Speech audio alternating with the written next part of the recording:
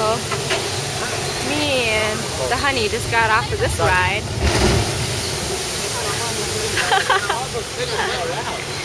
oh no! See, we were the lucky ones. We were the lucky ones. We made it. We actually didn't fall out. However, as a result, as a result, we are soaking wet. Soaking wet. Look at this. Look at this. We had to change outfits. There we go.